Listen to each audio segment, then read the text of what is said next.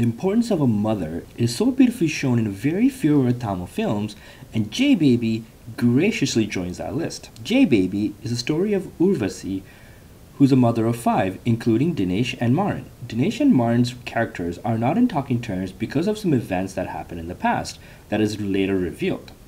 Now, as they start their day, they get a call from the police station asking if they know where their mother is, and turns out they haven't heard from her in a few days and haven't really paid attention to it. The police, after scolding them, informs them that she is in West Bengal.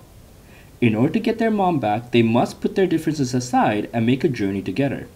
Even though Dinesh's character Shankar tries to talk to Senthil, which is Maaran's character, his attempts are met with failure. As they embark on the journey, we get to know their family, why they are not in talking terms, and a little bit more about J Baby's character. Now, do the two men find their mother and does the family also come back together is what forms the rest of the film. Dinesh brings his casual best to the film as usual. As the son trying to bring the family together and showing the love for his brother through small actions, we get to see the responsibility and the focus he must maintain throughout the search as opposed to his brother, who's a bit more focused on making sure he gets his booze fix. The small humorous moments between the two brothers really bring out the light smiles to the audience. Maaran, who's usually does humorous roles, really shows us that he can also be a very serious actor. He does keep the film a little light at the small moments, but the moment where his sleep talks turn into a confession of the pain he carries, we get to see the talented actor bring out a heart wrenching acting and makes us believe in his pain. But the star of this film is Urvashi, who, even though we know the character, but we, she doesn't come into play until the latter half of the film. This is probably one of her best, if not the best performance she has given. She plays a loving mother who is struggling with the early stages of dementia and has sudden anger outbursts. Now, even though the second half starts showing this as humorous at first, it slowly starts showing the seriousness and the effect it has on her kids and their family.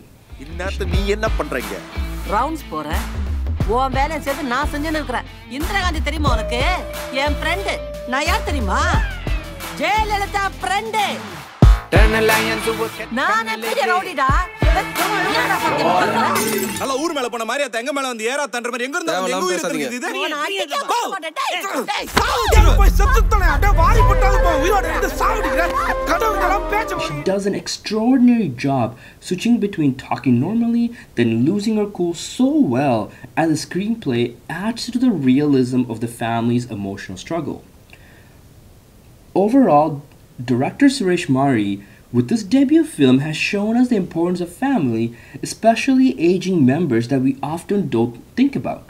The scenes during the travel where they get the glimpse of the family situation and how it tells the audience backstory in small flashing sequences is so well done. We often forget that as we're getting older, our parents and grandparents even are also aging, and their aging signs might not be so obvious as we may think. The film also shows the importance of helping total strangers and the impact that it can have. If you're looking for a great family drama with some light laughs, J Baby deserves your attention. Now, if you've already seen the film, what was your thought on it? Let us know in the comments below.